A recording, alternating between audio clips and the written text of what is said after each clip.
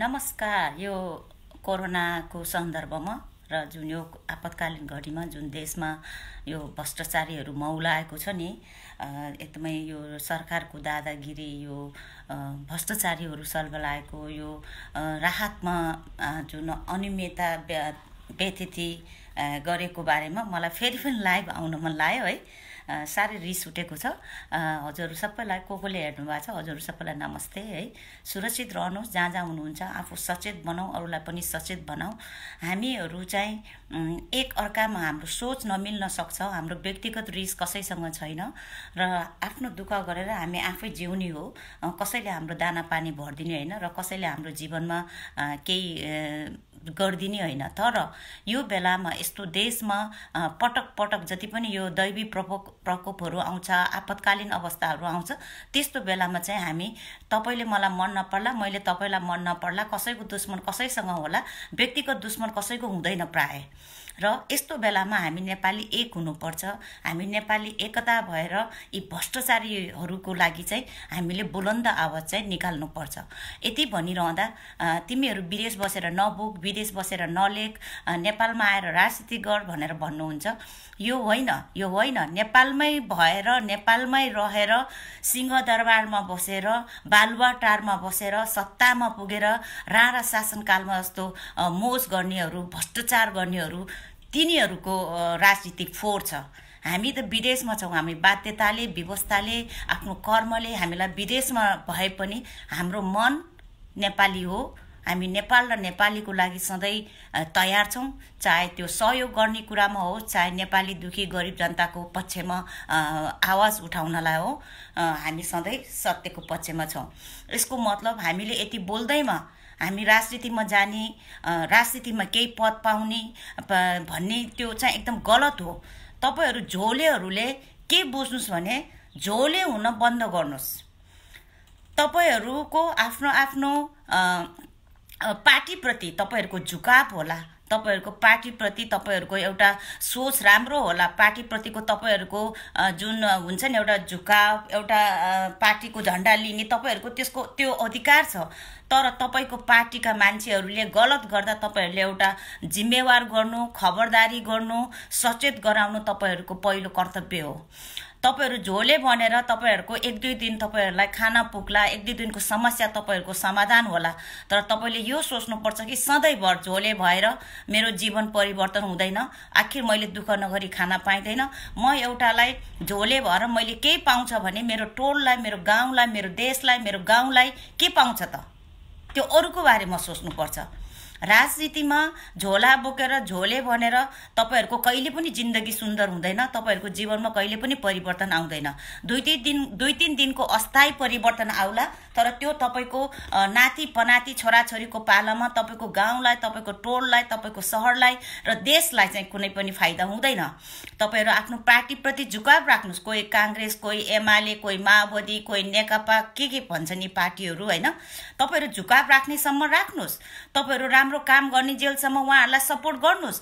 जब उहाँहरूले गलत काम गर्छ भने उहाँहरूलाई तपाईँहरूले सचेत गराउने खबरदारी गराउने र सल्लाह सुझाव दिने चाहिँ यो चाहिँ हरेक नागरिकको हरेक देशको नागरिकको कर्तव्य हो। विदेशमा पनि नेताहरूले गल्ती गर्छ। उहाँहरूले बोले अनुसारको उहाँहरूले काम गर्न सकेन भने विदेशमा पनि जनताले खबरदारी गर्छ। तर जनताले खबरदारी गर्नु अघि नै ती नेताहरू ती पार्लियामेन्टका मान्छेहरू जुनै पनि मिनिस्टर होस् चाहे जुनै पनि होम मिनिस्टर होस् प्राइम मिनिस्टर होस् प्रेसिडेन्ट होस् उहाँहरूले त्यो गल्ती महसुस गर्छ। जनताले खबरदारी गर्नु अघि नै उहाँहरू रिजाइन दिनुहुन्छ राजीनामा दिनुहुन्छ अनि जनताले सलुट ठोक्छ। हाम्रो नेपालमा हामीले खबरदारी गऱ्यो भने उल्टो हामीलाई आलोचना आउँछ। उल्टो हामी देश विरोधी भइन्छ समाज विरोधी भइन्छ। उल्टो हामीलाई उल्टो आरोप लगाइन्छ यो राजनीतिमा आउनलाई यसको स्वार्थ छ भन्छ। राजनीतिमा जानेको उद्देश्य के हो? देश र जनताको लागि नेपाल र नेपालीको लागि समाज सेवा गर्छु भन्ने उद्देश्यले राजनीतिमा गएको हुन्छ कि हुँदैन तपाईँहरू? तपाईँहरू फोरी राजनीति खेलेर मात्र बस्ने हो त्यहाँ? पत्र पैसाको लोभमा तपाईँहरू कुहिएको चामल बेच्ने एउटा मेयर जस्तो मान्छेले आज मैले पोस्ट गरेको छु एउटा मे मेयर जस्तो मान्छेले कुहिएको दाल बेच्ने मान्छेलाई पक्राउ गर्न पर्नेमा ऊ आफै पक्राउ परेको छ। किनकि मेयरै त्यस्तो छ त्यो ठाउँको। बाउ अभिभावकले गल्ती गरेपछि छोराले के सिक्छ? अभिभावकले गल्ती गरेपछि सन्तानले के सिक्छ? नेपालको राष्ट्रपति प्रधानमन्त्री स्वास्थ्य मन्त्रीहरू देशको अभिभावक हो कि होइन? यिनीहरू आफ्नो मात्र जीवन परिवर्तन गर्नलाई आफू मात्र करोड करोड पैसा भ्रष्टाचार गर्नलाई यिनीहरू सत्तामा पुगेको हो जनताले त्यहाँ पुर्याएको हो। यिनीहरू अभिभावक हो। अभिभावकले नेपाल र नेपालीको हितको लागि अरू बेला त भ्रष्टाचार गर्यो गर्यो। यस्तो आपतकालीन समयमा भ्रष्टाचार गर्ने? विदेशतिर हेर्नुहोस्। इटाली स्पेन चिन अमेरिका युके अरू देशलाई हेर्नुहोस्। त्यहाँका सर्वोच्च सर्वश्रेष्ठ नेताहरू कति देशको ढिकुटी रित्तो गरेर जनताको लागि उद्धारमा लागेका छन् पहलमा लागेका छन्। नेपालमा उल्टो प्रधानमन्त्रीले दुईवटा कुरा बोलेको छ। एउटा के भनेको छ हामीले असी करोडको राहत बाँडिसक्यो विवरण खै भन्नुहुन्छ? विवरण तपाईँले जनतालाई दिने हो प्रधानमन्त्रीज्यू। हामीले तपाईँलाई माग्नु पर्ने आवश्यकता किन? तपाईँले पो दिनु पर्यो जनतालाई। हेर्नुहोस् हामीले सरकारले नेपाल सरकारले असी करोडको राहत यो यो क्षेत्रमा यो यो प्रदेशमा यति यति बाँडिएको छ भने तपाईँको पत्रकारहरूलाई तपाईँले दिने हो त्यो समाचार। अनि हामीले त्यो विवरण पढ्ने हो। तपाईँले उल्टो जनतालाई सोध्नु भएको छ। हामीले असी करोडको राहत बाँडिसक्यो विवरण खै भन्नुहुन्छ? विवरण तपाईँले दिने हो ओलीज्यू। अनि हामीले सन्तुष्टि लिने हो। उल्टो तपाईँले हामीलाई प्रश्न गर्नुभएको छ। त्यो विवरण छैन त्यत्तिकै बोल्नु भएको छ। र अर्को कुरा पत्रकार भनेको देशको चौथो अङ्ग भनेर तपाईँहरूको संविधानले तोकेको छ। अनि तपाईँले के बोल्नुभएको छ ओलीज्यू? जहाँ सिडिओलाई थाहा छैन जहाँ प्रहरीलाई थाहा छैन जहाँ सरकारलाई थाहा छैन यहाँ त्यहाँ पत्रकारहरू क्यामेरा बोकेर घुर्र गाउँ गाउँ किन पुग्छ भन्नुभएको छ। तपाईँले त गर्व गर्नुपर्ने हो। सरकार नपुगेको ठाउँमा प्रहरी नपुगेको ठाउँमा सेना नपुगेको ठाउँमा जनता पुगेको छ पत्रकार पुगेको छ सञ्चारकर्मी पुगेको छ। उहाँहरूलाई त तपाईँले सम्बोधनमा धन्यवाद भन्न पर्नेमा उल्टो रहस्यमय भनेर तपाईँ बोलिदिनुहुन्छ। ओलीज्यू तपाईँको उमेर धेरै भइसकेको छ साठी सत्तरी असी कति भयो है? तपाईँले बोल्दाखेरि यति कुराहरू विचार गर्नुहोस् कि तपाईँको आसेपासेले प्रशंसा गरेर तपाईँ मक्क नपर्नुहोस्। तपाईँले त तिन करोड जनताको मन जित्नुपर्छ। तपाईँको विपक्ष पार्टीको मन जित्नुपर्छ। तपाईँ जहिले पनि मिडियामा आउँदा तपाईँले तिन करोड जनताको हितको भलाइको लागि तपाईँले बोल्नुपर्छ मन्त्रीज्यू ए प्रधानमन्त्रीज्यू। तपाईँ किन भाइरल हुनुहुन्छ? मान्छेलाई हँसाएर यस्तो कोरोनाले यस्तो त्रास अस्त व्यस्त बनाएको बेलामा तपाईँले त जनताको मन जित्ने हो। तपाईँहरूले बोल्दा मिठो बोल्नुहुन्छ। हामी यस्तो लाटागाडा मान्छे पनि मक्ख पर्छ एकछिन त। फेरि तपाईँहरूको काम गरा हेरेपछि लाटो रिस उठ्छ पारा तात्छ यो आक्रोश मेरो मात्र होइन हजारौँ लाखौँ युवाहरूको आक्रोश हो। तपाईँहरू किन बुझ्नुहुन्न? तपाईँहरू किन? तपाईँहरूले अहिले जुन मापदण्ड गर्नुभएको छ नि होइन? यो राहत चाहिँ मन परि बाँड्न नपाउने। यो सही छ नियम सही छ। तर तपाईँहरूकै कार्यकर्ताले जुन बाँडेको जुन बा राहतहरू दिने कुरामा धेरै गल्ती कमी कमजोरीहरू भएको छ तपाईँहरू त्यसको पनि तपाईँहरूले ध्यान दिनुपर्ने हुन्छ। तपाईँहरू नियम बनाउँदा चाहिँ एकदम राम्रो नियम बनाउनुहुन्छ। यो मैले पहिला पनि बोलेको छु अस्तिको हप्तामा पनि। तर तपाईँहरूको आफ्नै कार्यकर्ताले सरकारकै पहलमा गरेको राहत बाँडाइमा पनि धेरै कमी कमजोरी छ। नियम गर्नु सबैलाई एउटै गर्नुहोस्। नियममा सबैलाई बराबर गर्नुहोस्। कसैलाई मन परि बाँड्न दिएको छ फेरि कसैलाई बाँड्नै दिएको छैन? यस्तो नि हुन्छ। जति पनि बाँड्न चाहनेहरूलाई सरकारको पहलमा मेयरको पहलमा वडा वडा अध्यक्षको पहलमा बाँडिनुपर्छ भन्ने कुरा गलत होइन। यो राम्रो हो। असल पीडितले पाओस् मन परि राहतको नाममा भ्रष्टाचारी नहोस् दुरुपयोग नहोस् भन्ने तपाईँहरूको यो लक्ष्य हो। यो सही छ। तर त्यो नियम चाहिँ सबैलाई बराबर छैन। तपाईँहरूको चिनेको सोर्स फोर्स तपाईँहरूको चिनेको आसेपासेहरूकोलाई तपाईँले जे पनि गर्न दिनुभएको छ नेपाल सरकारले तर सबैलाई त्यो नियम बराबर गरिएको छैन। र यो बेला पहिला पनि आगो लागि भयो ताप्लेजुङमा ठुलो आगो लागि भयो चार पाँच वर्ष अगाडि। ठुलो भूकम्प दुई दुईचोटि आयो कति बाढी पिडी आयो हुरी बतास आयो। त्यस्तो बेलामा पनि तपाईँहरूले यस्तै भ्रष्टाचार गर्नुभएको थियो। यो स्वास्थ्य मन्त्री यो भानुभक्त ढकाल जस्ता गोकुल बासकोटा जस्ता यो ओलीज्यू प्रधान यो अर्को प्रचण्ड के के के के यी नेताहरू सबै। खालि केही विपद पर्यो देशमा करोडौँ रकम आउँछ यही बेला हो हामीले भ्रष्टाचार गर्ने भनेर भन्नुहुन्छ तपाईँहरू। त्यही सोचमा तपाईँहरू पैसा कुम्ल्याउनेतिर मात्र लाग्नुहुन्छ जनताको लागि तपाईँहरूले कहिले पनि सोच्नुहुन्न। तपाईँहरू जति भ्रष्टाचार गरे पनि खानी त चामलै होला नि होइन र? के गरिबले मात्र चामल खाने हो? तपाईँहरूले चामलको भात खानुहुन्न तपाईँले पैसा त खाँदैन होला मुखमा। तपाईँहरूलाई कति लोभ कति लोभ अलिकति लाज सरम अलिकति अप्ठ्यारो महसुस हुँदैन? तपाईँहरू पैसा कुम्ल्याएर मर्नुपर्छ जस्तो गर्नुहुन्छ। तपाईँहरू कोरोना लाग्यो भने के हुन्छ? राजनीति गर्नुहोस् तपाईँहरू। तर कुन बेलामा कति लिमिटमा बसेर राजनीति गर्ने त्यो पनि एउटा अलिकति मानवीय हुन्छ नि। तपाईँहरू अहिले कोरोनाले त्रास भएको बेलामा तपाईँहरू यस्तो फोरी राजनीति गर्नुहुन्छ। टुट्ने फुट्ने भनेर तपाईँहरू बालुवाटारमा आपतकालीन बैठक बस्नुहुन्छ। तपाईँहरूलाई जनताको पीडा भोकमारी बिरामी जनताको दुःख मतलब छैन। कता म अब यो पार्टीबाट म निक्लिन्छु कि?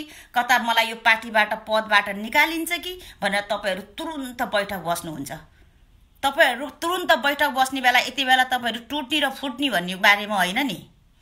तपाईँहरूको बैठक त यति बेला कहाँ कहाँ जनताहरू भोको मरिरहेका छन् कहाँ कहाँ जनताहरू लडिरहेका छन् कुन कुन प्रवासमा जनताहरू अल्पत्र परेका छन् कुन कुन जनताहरू कुन कुन गाउँमा राहत पुगेको छैन कति जनताहरू भोकमारी भएको छ कति जनताको रोजीरोटी यो कोरोनाले गर्दा बन्द भएको छ।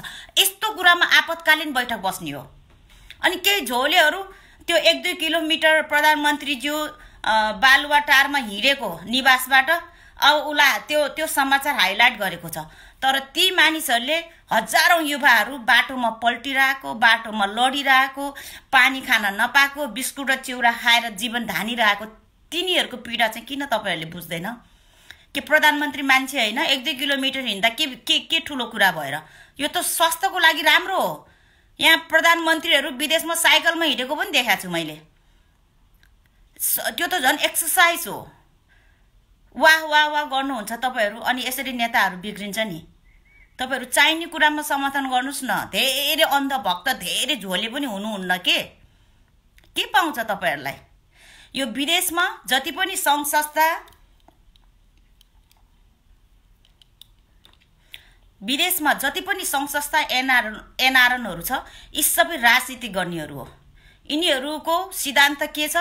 हामी देश र नेपाल र नेपालीको लागि विकास गर्ने सहयोग गर्ने भनेर उनीहरूले पैसा सङ्कलन गर्ने र स्थापित गर्ने तर यिनीहरू त्यही नेताहरूको सहकार्यमा पैसा उठाउने अनि नेताको कोषमा जम्मा गर्ने यी सङ्घ संस्थाहरू पनि खबरदारी तपाईँहरू नेतालाई विदेश बोलाउनुहुन्छ एयरपोर्टमा गएर फुल माला झन्डासहित स्वागत गर्नुहुन्छ घरमा ल्याएर एकदम चौरासी व्यञ्जन खुवाएर बजार घुमाउनुहुन्छ देश घुमाइदिनुहुन्छ तपाईँहरूको एक दुईवटा समस्या समाधान भयो होला।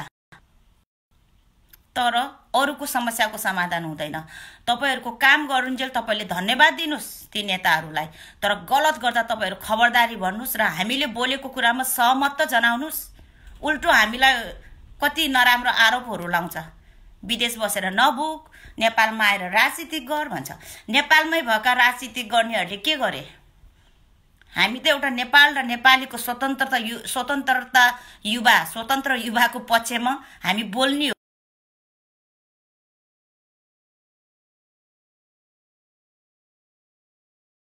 होइन। तपाईँहरू भाषण गर्दा कति मक्ख पार्ने किसिमले भाषण गर्नु काम मक्ख पार्ने गरिदिनु न जनतालाई। त्यो गरिँदैन।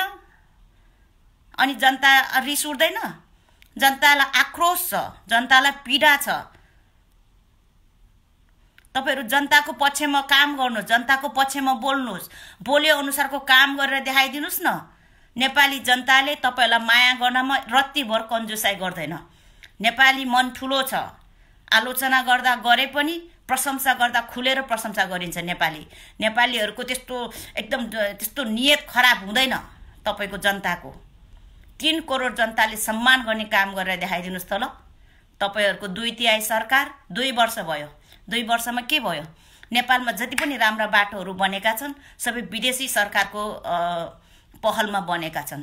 त्यसमा पनि कति घोटाला कति भ्रष्टाचार गरेका छन् तपाईँहरू? कति पैसा लुकाएका छन्? कति पैसा स्विस ब्याङ्कतिर जम्मा छ तपाईँहरूको? तपाईँहरू नेपाल र नेपालीको लागि केही पनि प्रयोग गर्नुहुन्न? खालि पैसा कुम्ल्याउने खालि पैसा कुम्ल्याउने अनि पद सम्हाल्ने। त्यसै नेपालको विकास नभएको त्यसै हो। तपाईँहरूले गर्दा हो। तपाईँहरू सत्तामा बसे अनुसार सत्ताको पथमा रहे अनुसार तपाईँहरू जिम्मेवारी काम गर्नुहोस्। नेपाल स्विजरल्यान्ड बन्छ। खै नेपाल स्विजरल्यान्ड बन्छ घर घरमा ग्यास आउँछ हवाई जहाज आउँछ पानी जहाज आउँछ। के के भन्नुभएको थियो त हाम्रो ओलीजीको दुई वर्ष अघिको भाषणहरू? खै केही पनि आएको छैन। खालि जनतालाई लट्टु बनाउने मख पार्ने काम नगर्ने अनि यस्तो आपतकालीन बेलामा कोषमा पैसाहरू आयो भने लुम भ्रष्टाचार गर्ने कुम ल्याउने यस्तो पनि हो। यो अति भएन। अलिकति मानवीय नाताले पनि तपाईँहरू सोच्नुहोस् न। के साह्रो हो? भोलि कोरोना लागेर तपाईँहरू कहाँ गर्नुहुन्छ राजनीति भन्नुहोस् त। कोभिड नाइन्टिनले लाखौँ मान्छे मरिसकेको छ। नेपालमा आज उन्चालिसजना भनेको छ। उन्चालिसजना त यो देखाएको मात्र हो। भित्रभित्र कति छ? भन्यो भने फेरि त बाठी नभई भन्ने होला। विदेशमा यति सचेत हुँदा त युकेमा यहीँ मै बसेको देशमा सोह्र हजार सत्र हजार मरिसकेको छ। यस्तो सचेत हुँदा त सरकारदेखि जनतादेखि सबै सचेत हुँदा त यत्रो यत्रो मान्छे मरि यति यति धेरै मान्छे मरिसकेको छ। पोजिटिभ रिजल्ट आएको त कुरै नगरौँ तर्सिनुहुन्छ।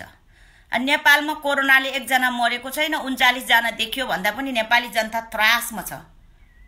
पैसा करोडौँ रकम छ नेपालमा। समाजसेवी सामाजिक अभियान त कलाकारदेखि लिएर मिडियाकर्मीदेखि लिएर सञ्चारकर्मीदेखि लिएर हरेक मानिस यो समाज सेवामा अग्रसर भएको छ यति बेला। सरकार चाहिँ गफ हाँक्ने उल्टो असी करोडको राहत बाँड्यो भने यो राहत बाँडिएको छ देखेको छु राहत बाँडिएको छ केही उद्धार पनि गरिएको छ अल्पत्र युवाहरूको तर जति आशा गरेको छ त्यति गरिएको छैन। तपाईँहरूसँग जति रकम छ त्यो रकम तपाईँहरूले बाँडिएको छैन। तपाईँहरूले जति दिन सक्ने राहत छ त्यो पनि बाँडिएको छैन। तपाईँहरू दिए जस्तो मात्र गर्नुभएको छ गरे जस्तो मात्र गर्नुभएको छ। तर जनताले पाउनुपर्ने सुविधा व्यवस्थापन सम्पन्न केही पनि पाएको छैन। बन्द गर्नुहोस् यस्तो तपाईँहरू नेपालमा राजनीति गरेर।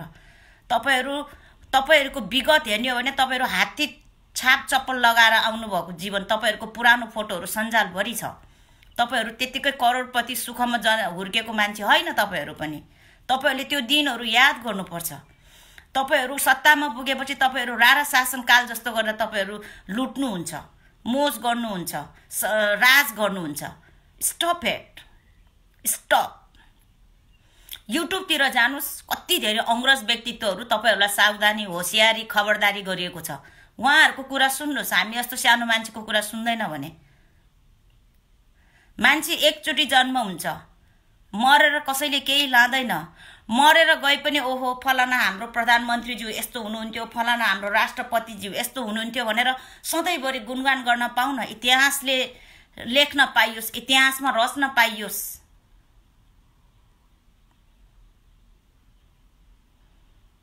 यो दुई तिहाई सरकार आएदेखि त झन् नेपालमा पुरै व्यथिति अनियमितता भ्रष्टाचारी कुथिति मात्र मौलाएको छ। नयाँ राम्रो काम मैले देख्दिनँ है। कम कम छ।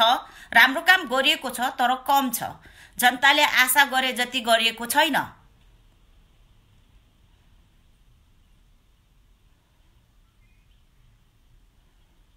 यस्ता भ्रष्टाचारीहरूको लागि हामी नेपाली एक हुनुपर्छ। हामी व्यक्तिगत तपाईँहरूले मलाई मन नपर्ला मैले तपाईँलाई मन नपर्ला कसैले कसैलाई मन नपर्ला तर यसो भ्रष्टाचार विरुद्ध अभियानमा हामीले हामीले आँखा खोल्नुपर्छ। हामीले सोच परिवर्तन गर्नुपर्छ। हामी मनबाट एक हुनुपर्छ। हाम्रो भोट नचले पनि हाम्रो आवाज चल्नुपर्छ। यो सबै आवाजविहीनहरूको आवाज हो। हामीले बोलेर फिल्म खट्न सक्नेले खटेर हामी सबै यो दुई तिहार सरकार विरुद्ध अब हामी सबै एक हुनुपर्छ। अब भोट आउँदा भोट लिन आउँदा भोट माग्न आउँदा सबैले ने इन्डियामा जस्तो कालो मुसुल दल दिने जुत्ता चप्पल हतियार उठाएर लखेट्नुपर्छ गाउँबाट टोलबाट सहरबाट प्रदेशबाट क्षेत्रबाट। अब नयाँ नयाँ नयाँ सरकार आउनुपर्छ। यो बुढा सरकार चाहिँ ठिक भएन अब। यो किन भन्दैछु भन्दा मेरो लागि होइन। नेपाल र नेपालीको विकासको लागि गरिबको परिवर्तनको लागि यो बेलामा नभए पनि आफ्नो सन्तानको परिवर्तनको लागि। राजनीतिक जबसम्म राजनीतिक परिवर्तन हुँदैन देश जनतामा परिवर्तन आउँदैन। त्यही भएर सबभन्दा पहिला हामीले जति समाजसेवा गरे पनि हामीले जति खर्च गरे पनि जबसम्म राजनीतिक परिवर्तन हुँदैन यी यी लुटेराहरू अदल बदल हुँदैन तबसम्म देशको विकास हुँदैन र नेपाली जनताको पीडा सधैँ उही हो। हामीले दिएर दिएर कति दिन सकिन्छ? सकिँदैन। मुख्य नेपाल सरकार नै सचेत हुनुपर्छ असल हुनुपर्छ राम्रो हुनुपर्छ। सिर्फ जनताको लागि र देशको लागि सोच्ने एउटा यस्तो गतिलो युवा प्रधानमन्त्री आओस् देश हाँक्ने एउटा राम्रो राष्ट्रपति आओस् अनि सबै जनताले सुखी पाउँछ देश विकास हुन्छ हाम्रो देश पनि दुबई कतारभन्दा राम्रो हुन्छ। दुबई कतार मलेसियाको सहरहरू हेर्नुहोस् कति विकसित छ। हामीले खाडी मुलुक भन्छौँ तर त्यो त्यो त्यो दुबई कतार मलेसियाहरू हेर्नुहोस् त एकचोटि गुगलमा गएर कति स्मार्ट सिटी छ। त्यही भएर यो दुई तिहार सरकार सरकार काम छैन यो नालायक सरकार हो। झोलेहरू तपाईँहरू नरिसाउनु होला यो झोले भन्ने शब्दमा मैले पटक पटक हिजो आज धेरै बोल्न परेको छ। आम सो सरी तर यो बाध्यता हो। तपाईँहरू झोले हुनुहोस् जति बेला राम्रो काम गरिन्छ। जब गल्ती गरिन्छ त्यही झोले नै झोला फ्याँकेर तपाईँहरू असल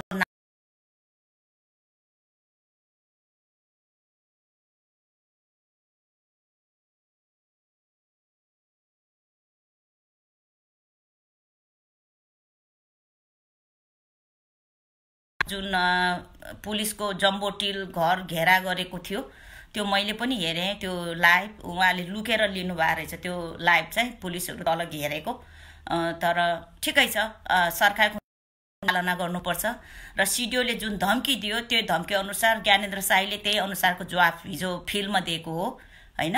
अब सिडिओलाई रिस उठ्यो ज्ञानेन्द्रलाई पक्राउनु पर्छ यसले म माथि औँला उठायो यसले म माथि ओठे जवाफ दियो भनेर पक्रिने जुन षड्यन्त्र रचिएको रहेछ। र ज्ञानेन्द्र साईले मलाई पुर्जी लिएर आएर मात्र समात्न सक्नुहुन्छ। म जेल जान तयार छु।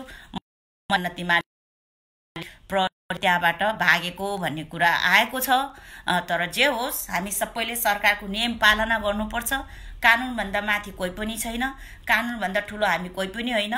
तर यो कानुन चाहिँ यी नेताहरूलाई चाहिँ लाग्दैन यी भ्रष्टाचारीहरूलाई चाहिँ लाग्दैन। तपाईँ हामीलाई लाग्छ क्या? त्यही भएर यसमा चित्त बुझ्दैन। कानुन छ सबैलाई एक होस् न। नियम छ सबैलाई एक होस् न। देन रेस्पेक्ट किन्ने मन परे आफूले मन परेको चिनेको आसेपासे अलिक ठुलो मान्छे चिनेको भए नियम कानुन पनि मिचेर जे पनि गर्न पाइने।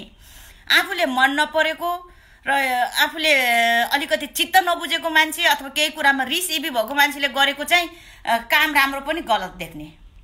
यो चाहिँ हामी नेपालीले त्याग्नुपर्छ है। सम काम राम्रो गरिन्छ समर्थन गर्न सक्दैन मन पर्दैन भने बरु चुप बस्ने। तर विरोध नगर्ने क्या। किन दुनियाँको आँखाको कसिङ्गर हुनु? हाम्रो व्यक्तिगत रिस त कसैसँग केही छैन नि। राम्रो काम गरुन्जेल राम्रो नै भन्ने हो। र राम्रो भन्न सकिँदैन भने विरोध पनि नगर्ने हो। तर यो बेलामा सरकारले जुन भ्रष्टाचारी गरेको छ सबै भ्रष्टाचारीहरूलाई यो असल मान्छेहरूलाई होइन फेरि तिनीहरूको लागि चाहिँ हामी सबै एक हुनुपर्छ।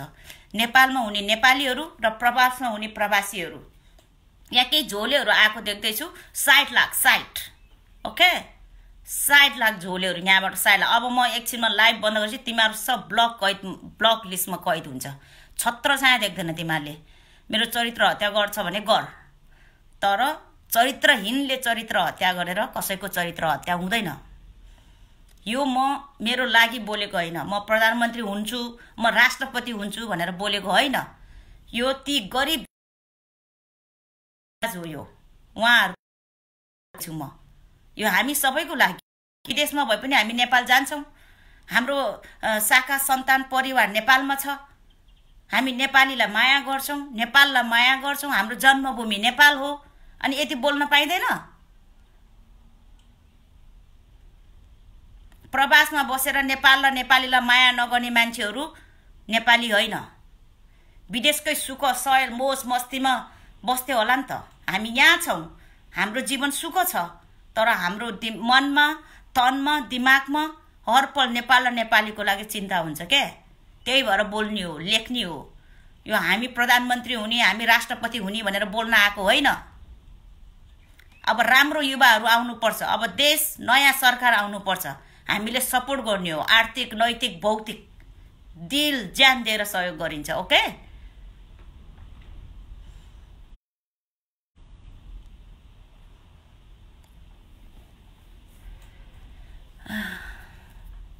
हस् त अनि यो यो कोरोनाको बेलामा नेपालमा जति पनिले समाजसेवा गर्नुभएको छ हजुरहरू सबैलाई उच्च सम्मान छ। जति पनि भ्रष्टाचार गर्नेहरू छ भ्रष्टाचारीहरूलाई किरा परोस् भनेर मैले त्यहाँ लेखेको छु जस्तो लाग्छ क्याप्सनमा। र यिनीहरूलाई किरा मात्र होइन कोरोना पनि लाग्न सक्छ तर कोरोना लागोस् चाहिँ भन्दिनँ म अहिले किनभने यो चाहिँ राम्रो होइन। तर किरा लागोस् भन्ने चाहिँ यो ओलीकै डायलग हो। ओलीज्यूको डायलग हो मैले त्यही क्याप्सन राखेको छु। ज जसले हेरिदिनु भयो लाइक कमेन्ट सेयर गरिदिनु भयो हजुरहरू सबैलाई थ्याङ्क यू सो मच